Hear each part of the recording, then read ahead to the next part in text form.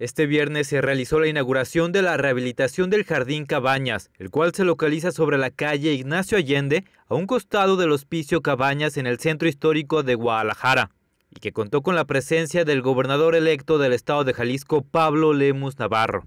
Fue un proceso largo porque empezamos una negociación con el INA, con el Instituto Nacional de Antropología e Historia, porque este lugar está protegido por el propio INA al ser eh, un espacio público histórico. Durante muchos años nunca se le invirtió un peso y la verdad es que lejos de ser un atractivo, era un problema en la zona.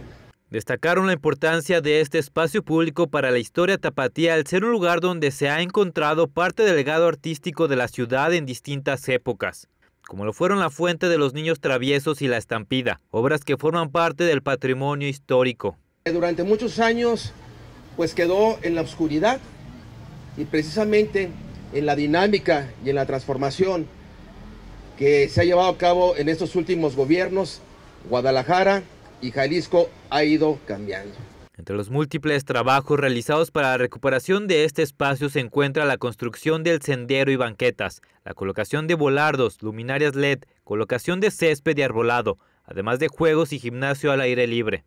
La inversión que se necesitó para la recuperación de este espacio fue de un total de 14.7 millones de pesos. Con imágenes de José Luis González, Alan Castellanos, Quiero TV.